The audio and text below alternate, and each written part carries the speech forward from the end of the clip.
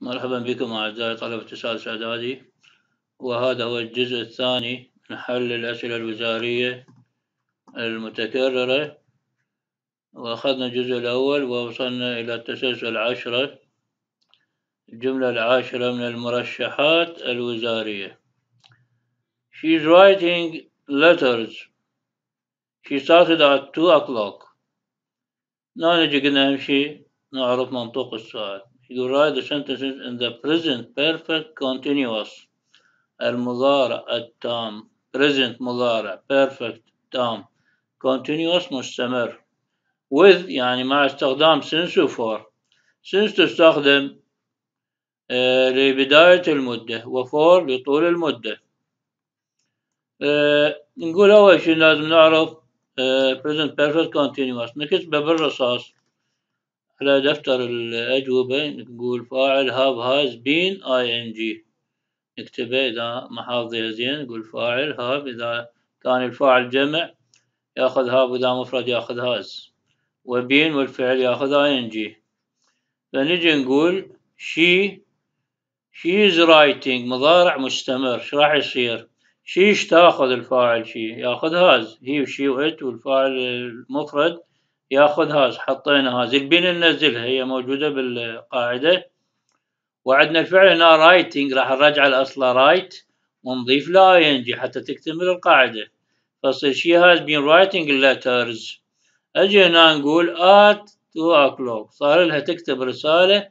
راح أقول 2 o'clock. من يجينا ساعة o'clock نستخدم since.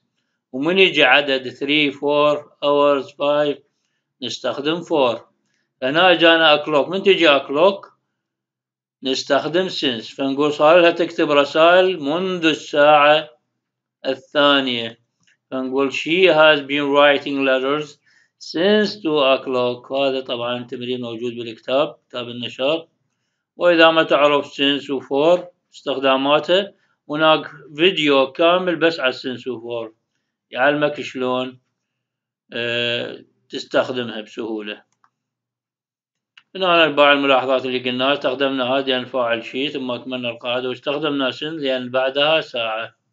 وشي started at معناها she started at تنحذف من الجملة الثانية.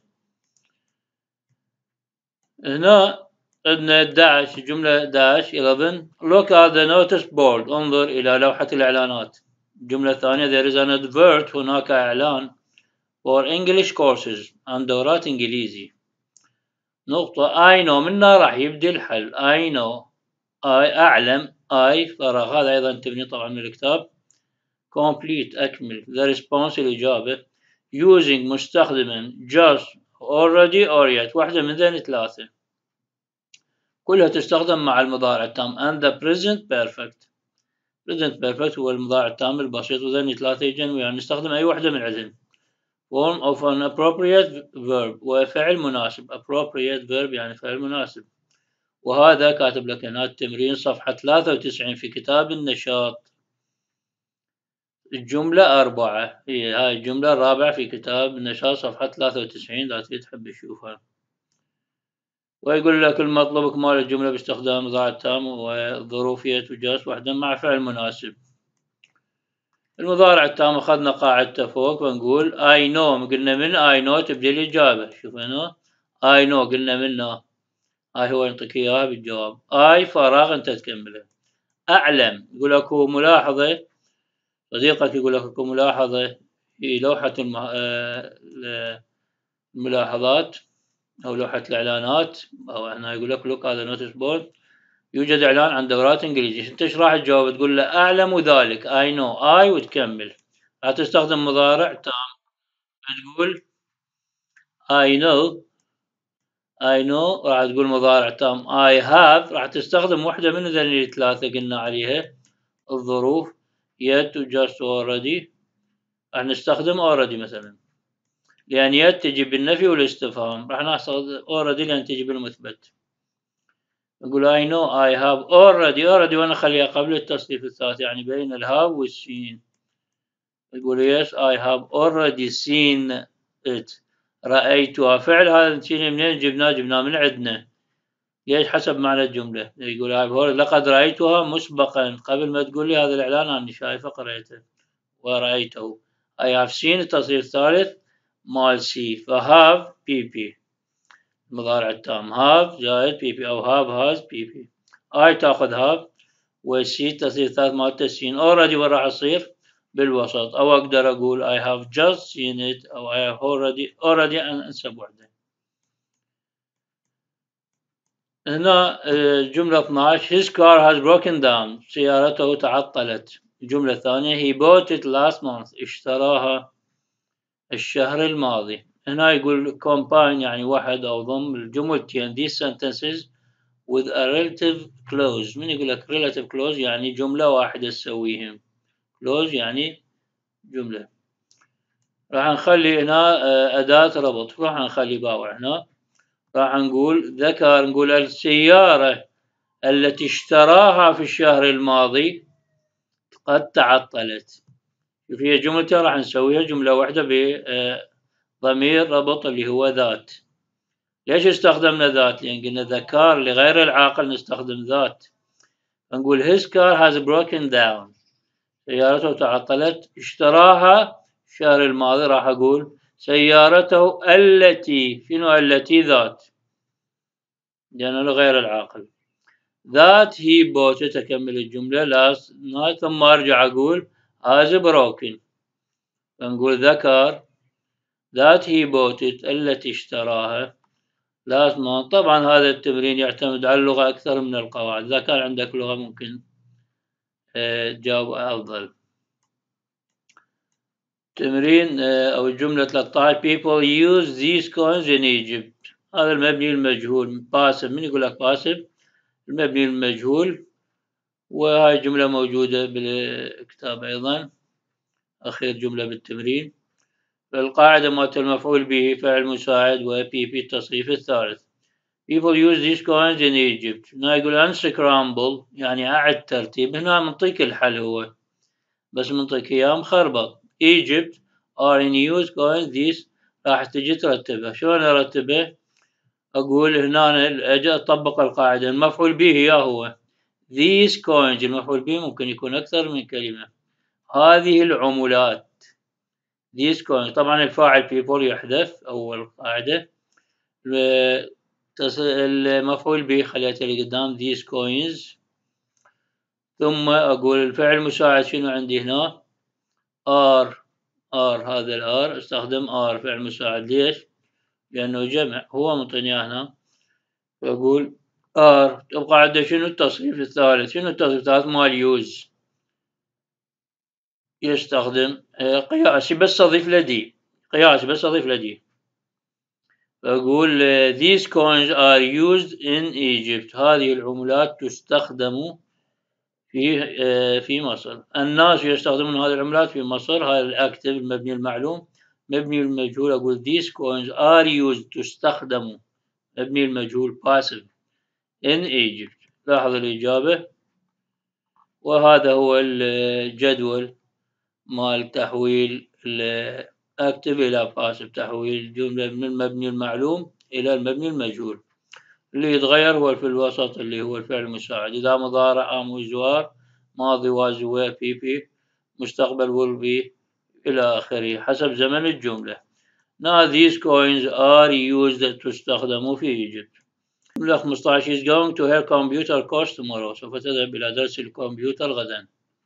I found out she هنا نرحب بالجواب منه I found out she فراغ. من يقول لك هذه فراغ؟ يعني يعني هاي الجملة تبدي منها الجواب طبعا هذا أسهل الموضوع تقريبا بالكتاب اللي هو future in the past.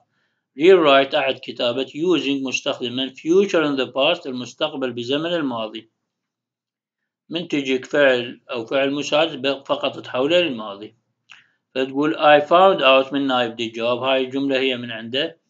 I found out she فراغ. نقول she is going to. she تقول she? هاي she تبدي من الحل. She هو مطيك إياها. She is out. She is. فقط ال is يتحول الماضي يصير was. She was. وكمل الجملة. فقط ال is يتحول إلى was. يتحول من ال future بصيغ آه، أحد صيغ الخمسة إلى future in the past. مستقبل بالزمن الماضي وهو تحويل جميع الأفعال اللي موجودة بال future إلى ماضي. إز تصير واس فقط وهذا هو الحل. 16 unfortunately لسوء الحظ أو للأسف نشوف unfortunately إذا هو regret موضوع الندم. They didn't train every day. هذا أيضا موجود بالكتاب. لم يتدربوا آه، كل يوم. نقطة. That's why لهذا السبب they lost the match. لهذا السبب. وخسروا المباراة. وقلنا أيضا هناك فيديو على شرح الندم. نحذف العبارة الأخيرة والunfortunately. Unfortunately إذا ما جتنا إذا نحذف بس الأخيرة. بما أنه موجودة راح أحذفها وأحذف الأخيرة. وراح أستخدم الريجريت اللي هو الندم.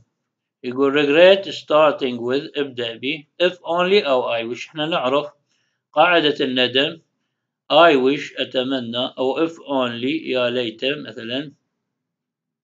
فاعل had pp هاي القاعدة. فهو يقول لك ابدي لو ب I wish if only. أو مرات يحدد لك يقول لك استخدم I wish if only فتلتزم بها أما إذا ما حدد فأنت مخير تستخدم I wish if only. اثنين أصح.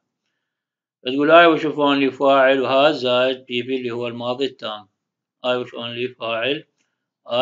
بي عندنا فيديو شرح حول هذا الموضوع. قلنا إذا كانت الجملة منفية أثبتها يعني يبقى ال had. وإذا مثبتة أنفية يصير هدنت بالعكس يعني. واحذف هذه وهذه وأطبق القاعدة. راح نطبق القاعدة.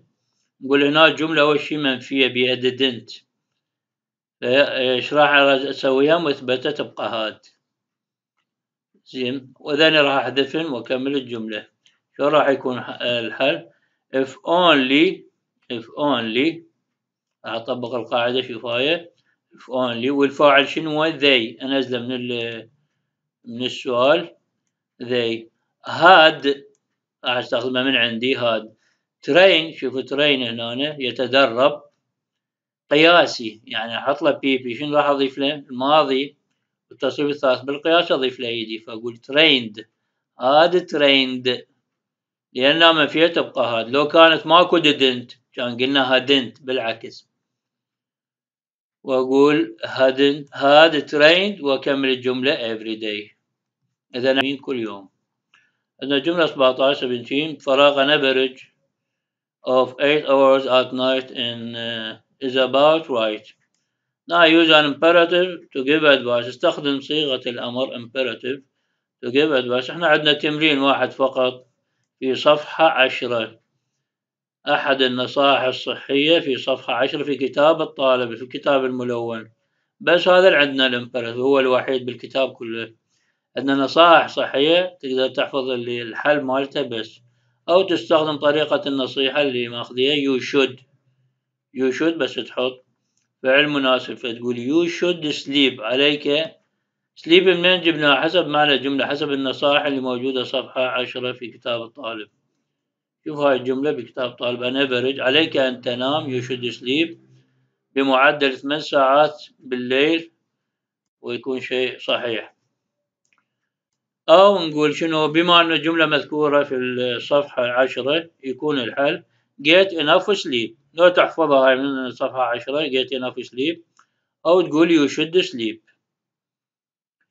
إذا انتبه على التمرين صفحة عشرة بالنصائح تحفظهن فقط هي بنقول لك imperative يعني هو هذا صفحة عشرة بالملون. أخير جملة عندنا define أكمل أمام يقول لك define عرف موضوع التعاريف التعاريف أول ما يقول لك تعريف لازم تكتب القاعدة أي أو أنا الوظيفة. Is someone who شخص ما is someone طبعا الأي هاي أداة نكرة هو يعطيك إياها بالسؤال يعني هو تنزلها. Is someone who هاي من عندك تحفظها. وتقول له أما فعل s تكملة أو is responsible for ونحط الفعل ing تكملة تحفظها القاعدة. الأسهل هي هاي بس الفعل ما تنسى تخلي الأس الشخص الثالث لأن الفاعل يكون آه، مفرد. تحط له تقول تحط الوظيفة تقول someone هو فد واحد الذي تقول يقوم بكذا وظيفته كذا. يعني راح نقول هنا وش يريد من عندنا التعريف؟ يريد cameraman المصور use استخدم. يعني شو يشتغل؟ هو operate هنا هو الفعل يشغل راح أضيف له s الشخص الثالث. فتقول a cameraman لاحظ ال a هو منطينا إياها. الوظيفة cameraman ال someone هو بس هاي احفظها الفعل هو منطيني operate بس أضيف له s وكمل الجملة. التكملة هو منطيني إياها. الذي يشغل الكاميرا للأفلام والبرامج. بنقول a cameraman is someone a cameraman is someone who operates operate the camera for films or programs. لاحظ هذا هو الحل. A cameraman is someone who operates يشغل ضفنا له الشخص الثالث لا تنساها وهاي التكملة هو منطيني اياها وإذا ما منطيني لازم أنا أعرف هو المصور إيش يشتغل. ومن عندي أخلي الفعل والتكملة.